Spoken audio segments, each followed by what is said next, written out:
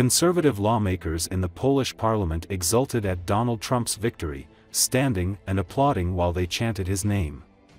The prospect of a second Trump term has excited people on the populist right across Central Europe who share his anti-immigrant views and contempt for international organizations. But many others in a region near the war in Ukraine are afraid. They worry Trump could abandon Ukraine and force Kiev into a deal that ends up emboldening Russia further, or unwind the US military presence in Europe. The change in Washington means Europe will have to invest more in its security and defense rather than relying on the American protective shield as it has done for decades, argues Michael Baranowski, managing director of Warsaw-based GMF East, part of the German Marshall Fund think tank. We Europeans Poles and French and Brits and preferably Germany as well need to step up, Baranowski said. Only by stepping up do we have a chance to keep the worst-case scenarios from happening. Both a bad deal in Ukraine and perhaps a lowering of US engagement in Europe.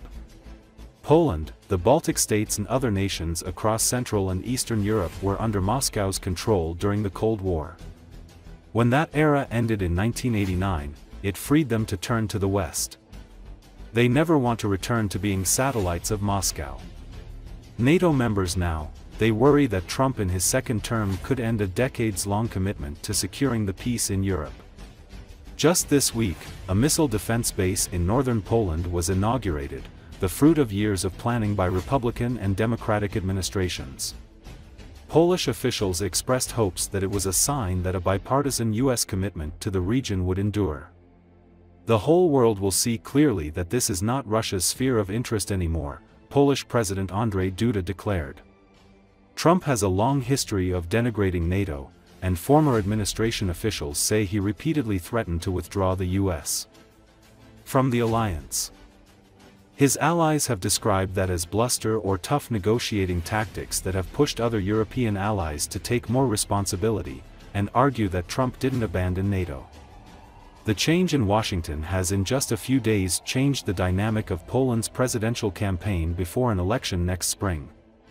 Foreign Minister Radek Sikorski, a former defense minister with ties in Washington, entered the running to be the candidate for centrist Prime Minister Donald Tusk's party, challenging the longtime favorite, Warsaw Mayor Rafał Trzaskowski. Sikorski argues that his experience makes him the better choice for the times. His opponents argue that the anti-Trump views of his wife, the American writer Anne Applebaum, could create complications with Trump's upcoming administration. The region is now holding its collective breath to see what a second Trump presidency will bring.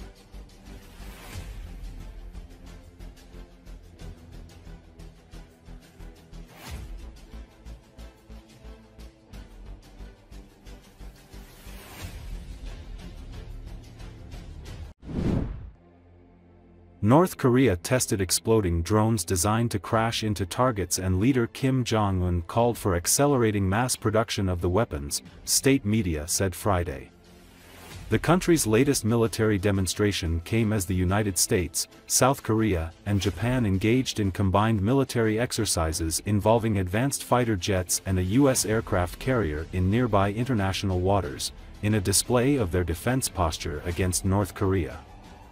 North Korea's official Korean Central News Agency published photos of Kim talking with officials near at least two different types of unmanned aerial vehicles.